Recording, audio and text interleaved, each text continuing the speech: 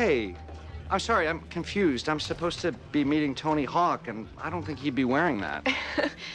I, uh, I think someone's playing a little practical joke on you. Is it Tony Hawk? Does he know me well enough to know that I'd find that funny? No, um, it's Heather. I'm her sister.